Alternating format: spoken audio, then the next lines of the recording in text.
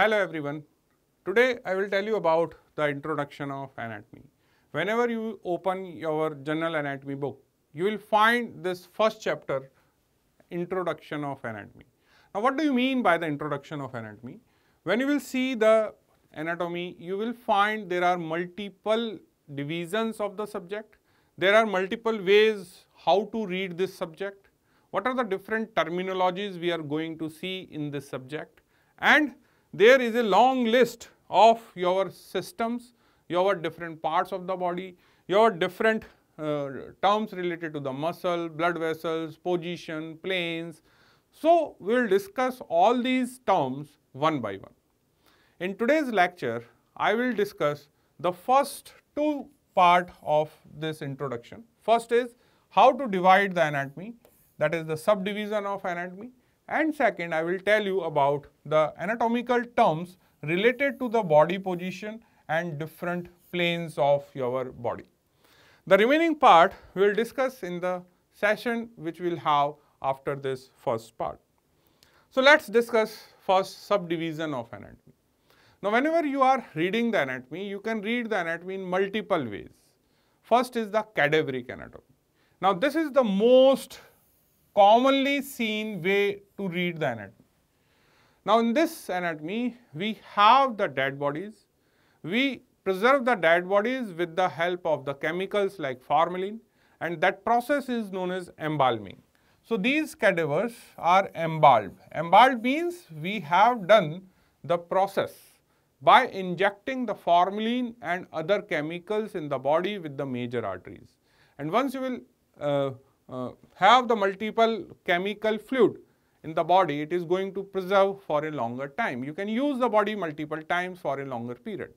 That process is known as embalming and this embalmed bodies or the cadavers are going to dissect. So, you are going to do the dissection on those cadavers or the preserved dead bodies and you are going to observe the different part of the body. So, this is known as cadaveric anatomy. Now, this cadaveric anatomy we learn with the naked eye and you can further divide into the two part. So, we will learn the cadaver with the dividing it into the region like upper limb, lower limb, abdomen, thorax, head and neck. So, this is a regional anatomy or you can read or you can uh, dissect the cadaver systematic wise. Now, what are the system you will know? Like your skin, integumentary system, skin and its appendages. You may dissect the whole uh, gastrointestinal first, so it is a GIT system. You can learn the reproductive system, you can learn your digestive system. So, in the cadaveric anatomy, that means when you are dissecting the uh, embalmed dead bodies, you can read in two ways either with the help of the different reason or in the term of different systems. Now the another way is living anatomy. It is not always to learn the anatomy on cadaver. You can learn the anatomy on in other ways also. That means you can learn anatomy on the living person also. So living anatomy is by the inspecting and palpating and examine a person.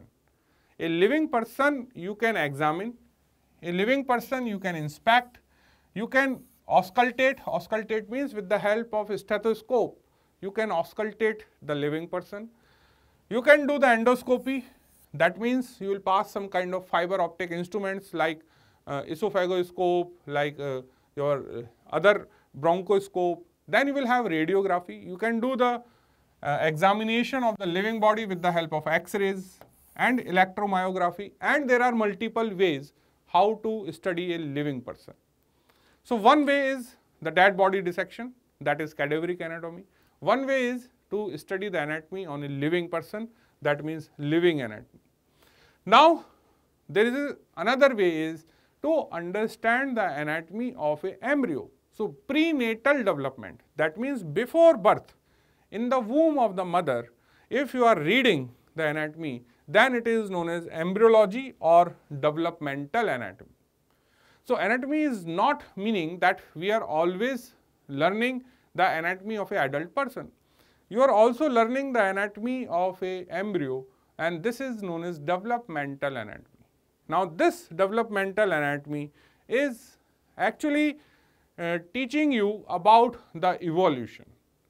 So, the development of till history is called as ontogeny and the evolutionary part that means you are seeing the intermediate forms of the development is known as phylogeny.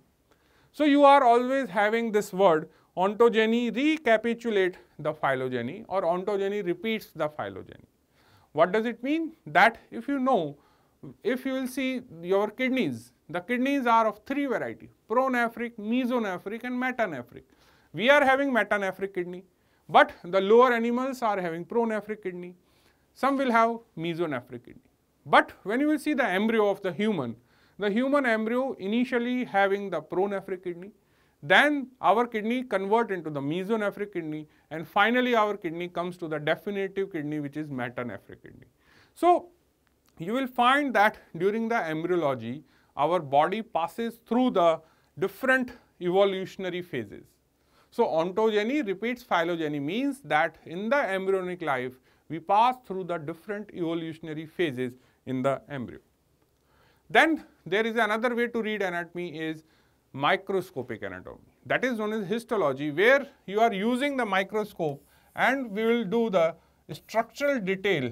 That means you will see the cellular formation, you will see the different kind of tissues. So, that is your microscopic anatomy. Then you will have the surface anatomy. Now, this surface anatomy is very important part because this surface anatomy is helpful to apply your knowledge of anatomy on a living person. So, when you will have the surface anatomy which is also known as topographic anatomy, it is the study of the deeper part of your body in relation to the surface. On the surface you will have the skin. For example, if I am having the idea that deep to this area there is a presence of radial artery. So, on the basis of this knowledge I can palpate the radial artery. So, I am palpating this radial artery on the surface. Why? I am able to do so because I am having the knowledge of the anatomy that there is a radial artery. In the same way, you have to know the different quadrants of abdomen. Now, abdomen is divided into the nine quadrants and that is a surface anatomy. But in every quadrant, you are having a different abdominal organ that is the your correlation of the knowledge of anatomy with surface anatomy. So, surface anatomy give a very important idea to the clinical practitioners and surgical operation surgeons during the uh, surgeries you should have the idea that what thing lies deep to this part of the body. So, surface anatomy is basically a very important knowledge of your anatomy for your clinical practice. Then you will have the another way to study anatomy is with the help of the radiology and imaging. So, when you will have the x-rays, when you will have the CT scan, when you will have the MRI scans, you are going to read the deeper structure, their relations and that is your uh, study with the help of your radiology. So, here you are going to see the deeper parts, you are going to see the relations of the uh, study of the bones with the help of the x-rays, ultrasound, CT scan, MRI. So, that is a radiological anatomy. Now, you will have comparative anatomy. Now, as you know that there is a word is comparative. So, we are comparing, we are comparing the human with the other animals. We are comparing the organs of human with the organs of other animals. So, in this comparative anatomy, we are going to study the anatomy of other animals to explain the change in the form, structure and functions and morphology of different parts of the human body. How we develop, what is the role of tail in the uh, lower animals? We don't have the tail. Why we are having the four chamber heart? How our limbs develop because of the erect posture? What are the modification will take place? So these comparative anatomy give you the idea and when you are comparing the uh, organs of animals and human, it will give you the idea that how the changes are taking place, what are the functional changes we require as a human, what are the important structural changes occurs in the organs of human as compared to the other animal. So, when you are comparing the two species, human and other it is known as comparative anatomy. Then you will have physical anthropology. Now this word anthropology is the study of the physical characteristics of the human being and their ancestors. Now here we are actually reading the evolution of a human only. So when you will have a study from ape to human. So when we are discussing the detail from ape to human, we are actually talking about your comparative anatomy. So in this comparative anatomy, we are seeing the ancestors and we are uh, reading the evolution in each and every organ, every part of the body, what are the changes taking place in our shoulder girdle, pelvic girdle, upper limb, lower limb, spine, because our ancestors are not used to stand on the uh, foot. They are having, uh, their spine is, their spine is not straight. So, how the evolution took place from our ancestors to a human, today's modern human. So, it deals with the external feature and the measurements of the different races and group of the people. Now, here we are not only discussing the uh, evolution from the ancestors that means ape to the human, but we are also uh, studying the racial differences. That means you are seeing the differences between the skull diameter of African and the Indian. If you are doing such kind of studies, when you are comparing the races, then it is again known as physical anthropology and it is a part of anatomy. Then you will have applied or clinical anatomy. Now applied or clinical anatomy is again the application of your anatomy knowledge. So whatever you are reading in anatomy, you should know how to apply on a patient. So deal with the application of your anatomical knowledge in your medical and surgical practice. Then lastly, we will have experimental anatomy. Now this experimental anatomy is a study of the factors which influence and determine the form, structure and functions of different part of the body. But how? So, if you want to determine the form, structure and function of different part of the body, you have to do the experiments. So, experimental anatomy is a part of the research where we are doing the multiple research to find out the uh, different uh, part of this area and this is known as experimental anatomy. The last is the genetics. Now, genetics is also the part of anatomy because here we are going to study the information related to the chromosomes. So, in this way, you will subdivide the anatomy in different areas. Now, the another term comes is the position, body position. Now, body position most commonly of four type, anatomical position, supine and prone position and lithotomy position. So first I will tell you about anatomical position. Now when you will see the anatomical position, this anatomical position is important because it will make the anatomy standardized universally. There is a universal acceptance of all the terms and this will become the basic of your anatomy. So whenever you are reading any book, whenever you are reading any anatomy from uh, uh, any part of your world, you will realize that everyone is following this position to uh, universally make a uniform terminologies in the anatomy. So what is this position? In this position, the person has to stand straight. So first is, it is a standing position anatomy, position where the person is straight, the eyes are looking forward, you are facing forward, the eyes are looking forward. The another important thing is that the arms are by the side of the body. The arms are hanging by the side of the body, but the palms are facing forward. Your this palmar surface is facing anteriorly. It is not towards the body, it is not posteriorly, it is facing anteriorly. So here you can see that palmar surface is facing anteriorly. Both the feet together and the when you will have the both the feet together, your toes are facing forward. So this whole is complete your anatomical position. So what are the different parts of the anatomical position? It is a straight position. When you will have the straight position, your eyes should be faces forward. Your arm should be by the side of the body. Your palm should be faces forward. Your both the feet together and toes are facing anteriorly. So, this is your anatomical position.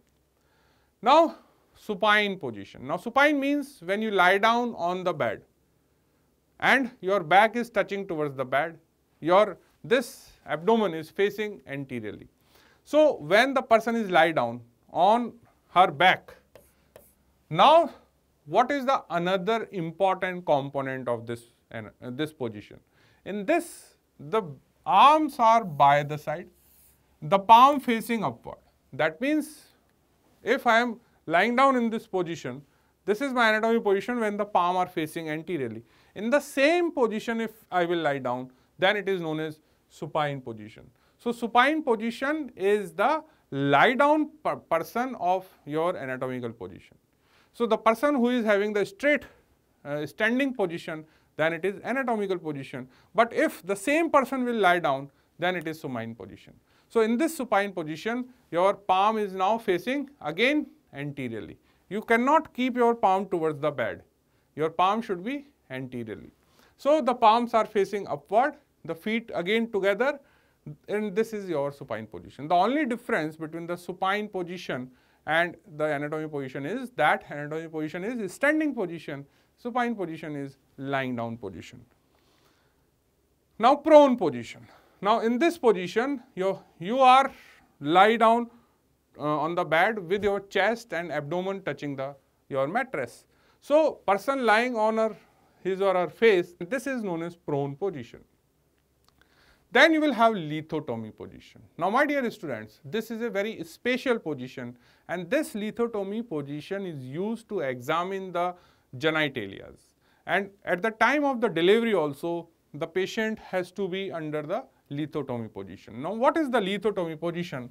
Now, in this lithotomy position, when you will see your limbs, this is your thigh.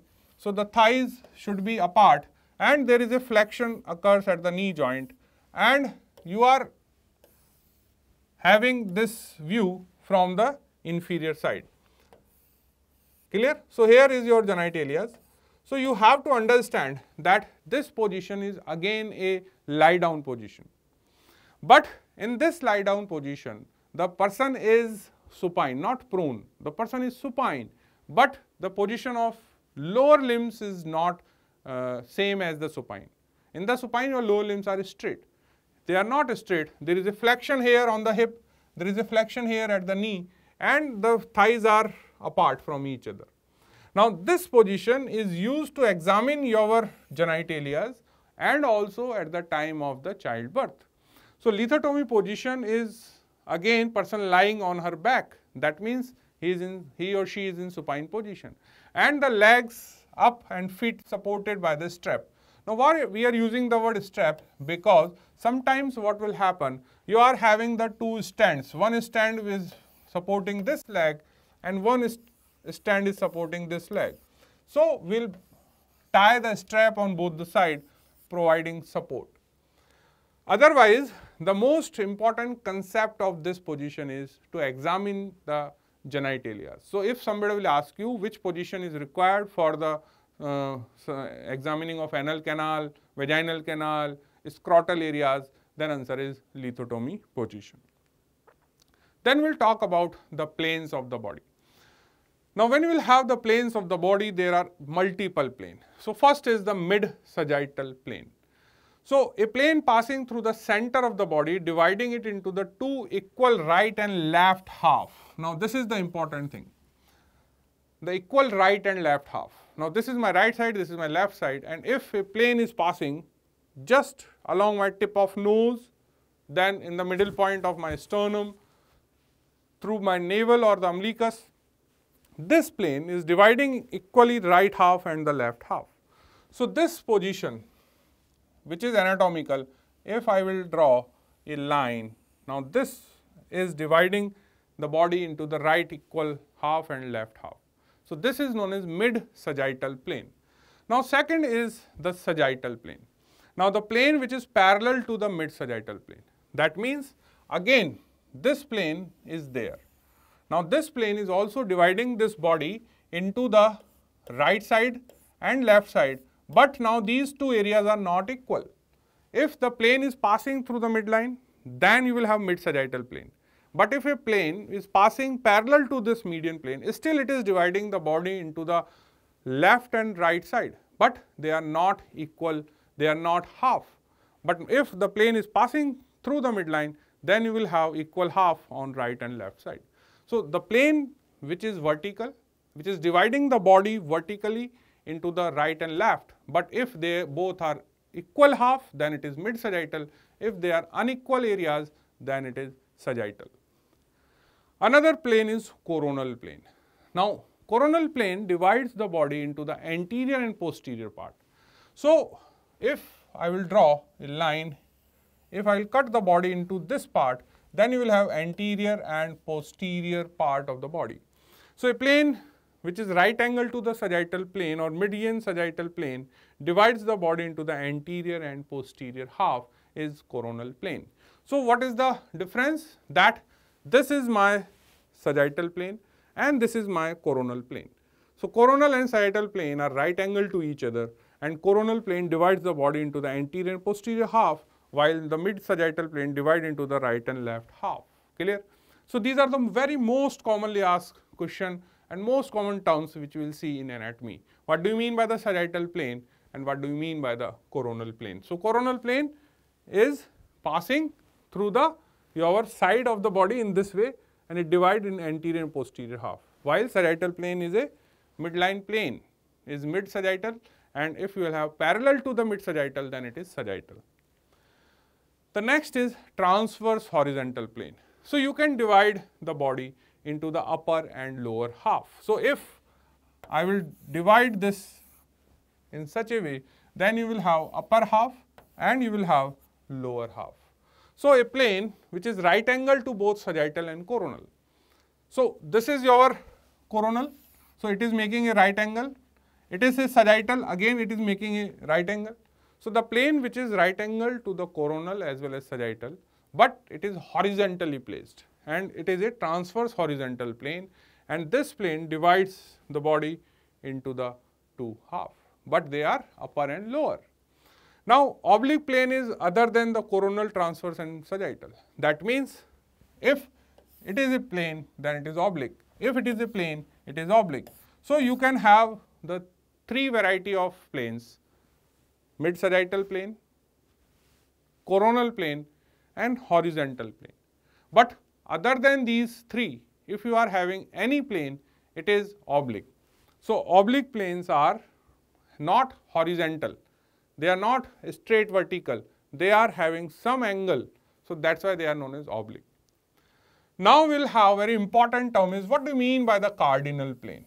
Now, when you will see the cardinal plane, it is any plane which traverses the center of your body and it is called cardinal plane. So, what is the definition? When it is passing through the center of body. Now, see the word center comes that means it has to be in the mid part. So, suppose this is my center of the body then it has to be the center of in the median midline it has to be the center of my upper and lower half. So, suppose this is the center and through the center your horizontal plane is passing. Through the center your coronal plane is passing and through the same center your this plane is passing and that plane is your sagittal plane. So, suppose all the three planes are passing through this one point which is a center point of the body then that is a cardinal plane. So, what are the cardinal planes? Cardinal sagittal that is a mid sagittal plane. Cardinal transverse plane, cardinal transverse plane means now this plane cannot be passed here, cannot be passed here. These all are transverse plane. They all are transverse plane. But this is cardinal transverse because it is passing through the center of the body. These planes are not passing from the center of the body. So, they are not cardinal transverse plane. They are transverse plane, but they are not cardinal transverse plane. And once you are using the word cardinal transverse plane, it has to be divide this body into the equal upper half and lower half. So, you have to keep this thing in mind that cardinal transverse plane has to divide the body into the equal upper and lower half.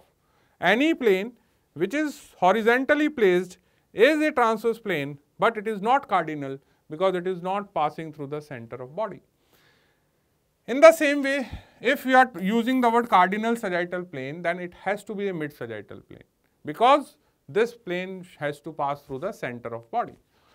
In the same way, cardinal frontal or coronal plane divides the body into the equal anterior posterior half because it is again passing through the your center of the body. Now, what is fundamental position? Now, fundamental position is equal or same as anatomical position. It is again erect, the arms are hang by the side, the uh, both uh, feet are near to each other, but there is only one difference that the palmar surface is facing towards the body. That means these palms are not facing anteriorly, the palms are facing towards the body.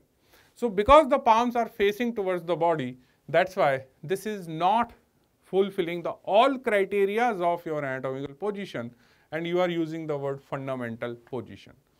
So, it is a comfortable position, it is not important for the anatomical point of view. Then you will have center of gravity. Now, what do you mean by the center of gravity? Center of gravity is the point where the three cardinal plane intersect in the body is called as center of gravity. So, I told you that there is a center point of the body where all the three planes, your mid sagittal, your uh, coronal plane and your horizontal transverse plane are meeting. And that point of the meeting is known as center of your gravity. Clear? So now in this first part of the terminologies of anatomy, we learn about the subdivisions of anatomy, we learn about the different planes of the anatomy and the important thing is that which is very commonly asked question about the different positions of anatomy. What do you mean by the anatomical position? What do you mean by the lithotomy position? What do you mean by the different planes like sagittal plane, mid-sagittal plane, cardinal planes? So this is what you should have the basic idea about the introduction.